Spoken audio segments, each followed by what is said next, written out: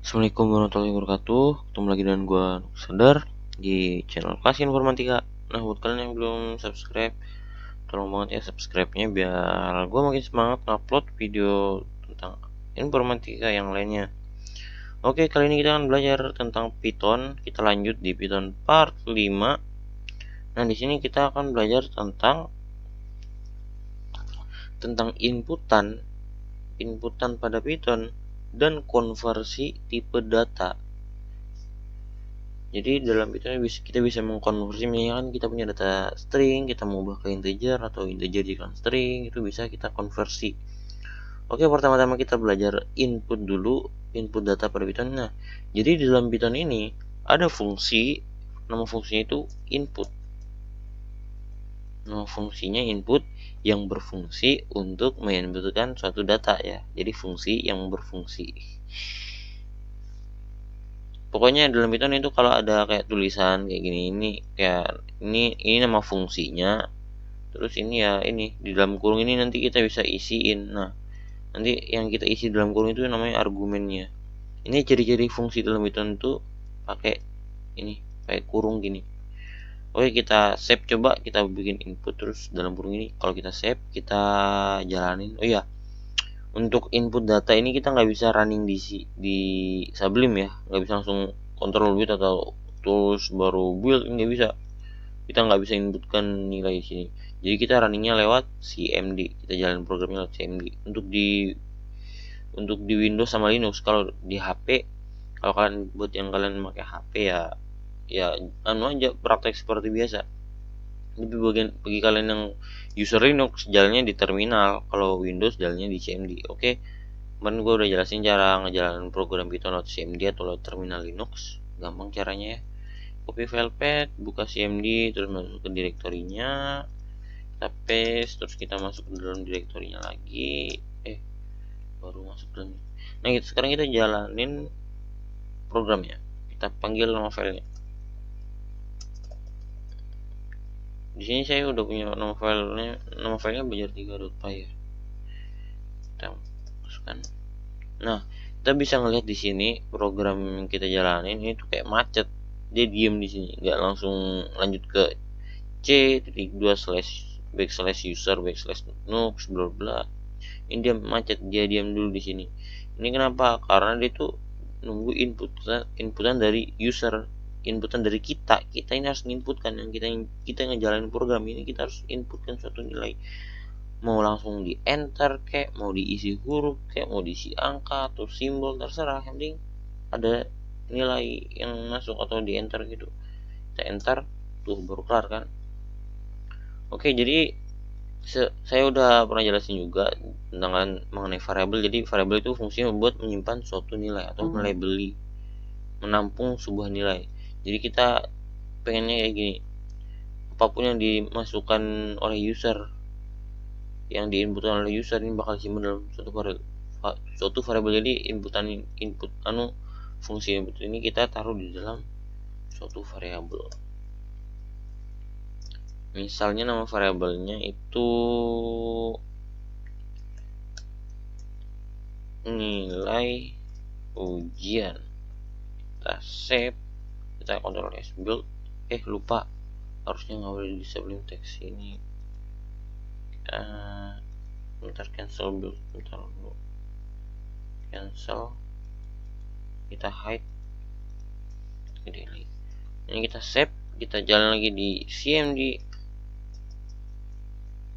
kita terus kayak gini Python belajar 3.py yang penting kita udah masuk di dalam direkturnya. Nah kita klik enter. Nah kita bisa lihat di sini berhenti berhenti. Terus kita disuruh misalnya kita input nilai ini kan ini variabel nilai ujinya langsung aja angka. Terserah mau angka atau huruf. Ini kan belum anu. Belum gue jelasin mengenai operator anu operator mengenai tentang konversi tipe data. Langsung aja enter. Nah ini udah berhenti. Nah coba kalau kita print. Kita print kayak gini. Nilai ujian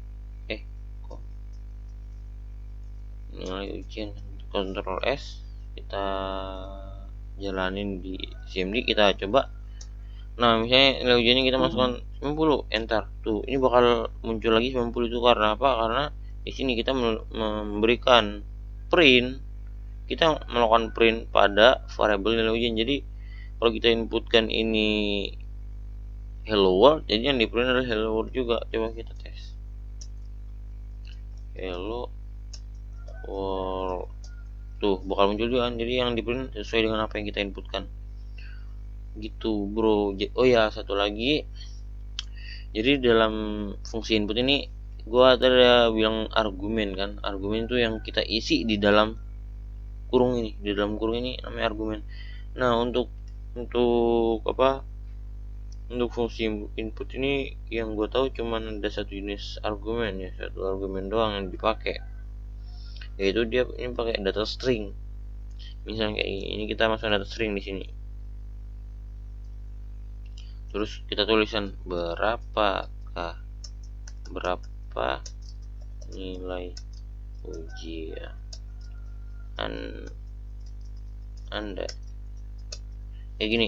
Jadi ini ini bakal ke print terus kita disuruh inputan. Coba kita save dulu kita jalanin. Kalau kita jalanin coba. Tuh ini bakal muncul kayak gini. Berapa nilai ujian anda? Nah saya contohnya 100 tuh langsung muncul. 100 gitu. Jadi ini namanya argumen ya. Kita bisa ganti-ganti terserah ini mau kamu ganti apa kalian ganti apa terserah di sini ya. Oke lanjut lagi di konversi tipe data. Jadi dalam Python itu kemarin sudah saya jelaskan tentang jenis tipe data tiga jenis tipe data string integer dan float Nah, itu kan kalau kita print type type dari data tersebut itu kan muncul kayak kelas bla bla. Nah, gitu kan. Nah, jadi di dalam Python itu ada namanya kelas string, kelas integer itu bisa kita panggil dalam dalam bentuk dalam bentuk fungsi kayak fungsi fungsi dia itu fungsi atau metode gitu ntar lah kalian jelasin untuk sekarang ini kita nyebutnya fungsi aja ya. Kita nyebutnya fungsi built-in. Namanya fungsi built-in di dalam Python. Setahu saya sih gitu nggak tahu bener apa enggak. Setahu saya gitu. Oke jadi caranya gimana? Nah gini misalnya. Kalau kita print type type dari nilai ujiannya kita print ya. Kita print type nya type kita S coba kita kontrol S ya kita jalanin. Kita eksekusi.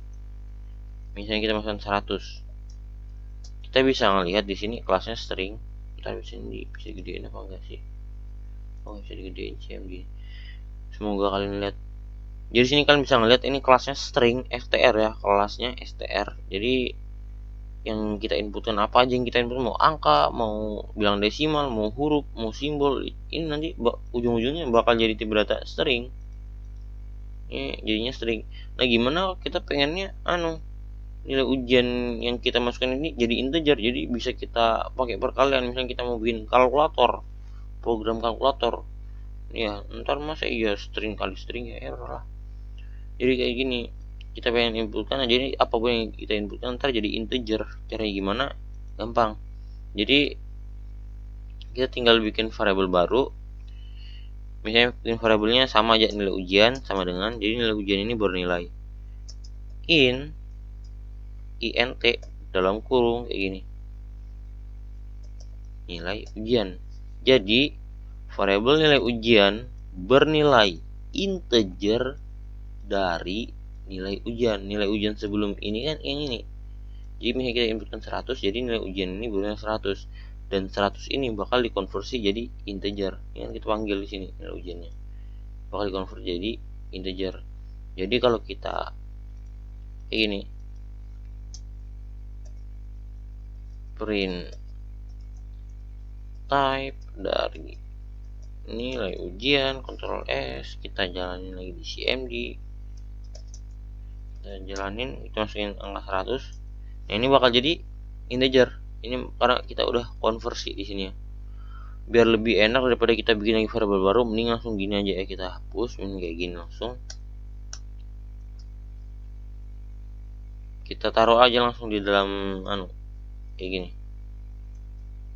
In kayak gini. Jadi apa pun yang kita inputkan ini bakal langsung dikonversi jadi integer oke kalau misalnya kalian pengen konversi jadi string ya bisa juga string gini. Atau float. Float gini ya. Misalnya kita inputkan 100 ntar, ntar jadi float loh. Beneran. Kita inputkan coba 100 bal ini bukan bilang desimal ya bukan bilang desimal kita enter. Tuh jadi float ya jadi float jadi tergantung. Tergantung apa yang kita masukkan nah coba kalau kita print kan ya print nilai ujian Ctrl S. Ini masih jadi desimal. Awalnya kita masukin 100 jadi desimal. Tuh jadi 100,0 gitu. Dia bakal berubah. Oke gimana? Misalnya kalau kita punya anu punya punya apa ya? Punya variabel gini. Punya variabel atau gini aja kita nilai ujian kita ini udah jadi float atau nanti resultnya jadi integer atau float ya. Kita pengen ngubahin jadi string. Gimana? Gampang ntar kita bikin variabel baru kayak gini. Bikin variabel baru terus sama dengan kan pakai kan fungsi string. Ini dalam kurung terus nilai ujian. Jadi variabel nilai ujian bernilai data string dari nilai ujian karena misalnya kita yang 100 nih awalnya kan jadi awalnya nilai satu ini jadi integer. Nah habis ini kita konversi, konversi lagi jadi string. Jadi sekarang variabel nilai ujian ini tipe datanya string ya.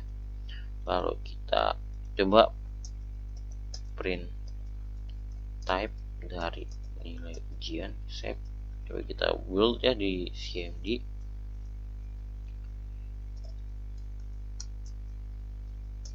kita bisa lihat ini 100 di sini kita bisa lihat pertamanya kelasnya integer sekarang berubah jadi string. Karena sini udah kita masukin konversinya. Kalau kita mau ganti float ya ganti float. Untuk saat ini saya jelasin tiga doang ya. Kalau kita kemarin udah belajar tentang tiga jenis tipe data. String float integer. Jadi kita, saya cuma jelasin tiga doang. Oh ya buat tambahan materi kali ini saya bakal ngasih tahu kalian. Jadi dalam Python ada yang namanya komentar atau apa ya jadi apa pun sintaks apa pun fungsi apa pun ini ini kode apa pun jika diawali dengan simbol pagar ini nggak bakal dieksekusi. Untuk sebelum teks sendiri biar cepet kayak gini ya. Misalnya kita kita pengen bikin program oh ini ada yang error jadi kita pengen gini ini gak usah dieksekusi dulu ah. Kayak gini cara kita kita blok dulu kayak gini terus kita pencet kontrol garis miring kontrol sama garis miring ya. Ini langsung muncul kayak gini. Enak kan? Ini kita coba kita kontrol S. Kita coba jalanin dia no?